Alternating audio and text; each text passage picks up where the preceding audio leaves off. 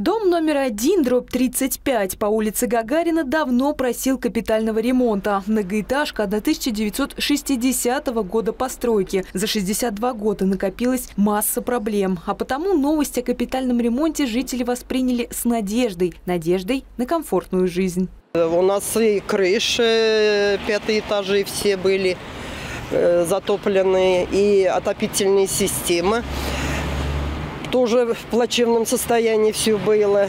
И фасад. Фасад э, тоже вся в трещинах, старая уже штукатурка была. Кровлю успели отремонтировать еще по старым ценам в 2019 году. Позже обновили инженерные сети, освежили фасад. Также освоили современные технологии. В доме появился погодник. Он позволяет жильцам экономить на платежах. В среднем это от 12 до 35 процентов с учетом недавнего повышения тарифа. К примеру, за двушку оплата снижается на 400-700 рублей. Подобную систему теплоснабжения в минувшем году установили еще в семи многоквартирных домах. В целом по программе капитального ремонта преобразили 158 многоэтажек. Практически в три раза увеличение объемов выполненных работ в 2022 году.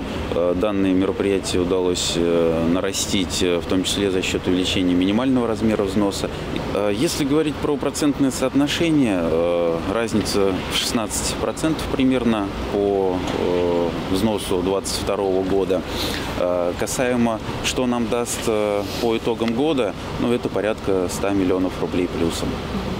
Поступила поддержка из областного бюджета. Это 100 миллионов рублей. Деньги направили на работы по замене лифтов в Ульяновске и Димитровграде. Новые подъемники обладают низким энергопотреблением. Это на 20% снижают расходы за электроэнергию. В 2023 году работу продолжат. Александра Никитина и Геннадий Бухтаяров. Управда ТВ.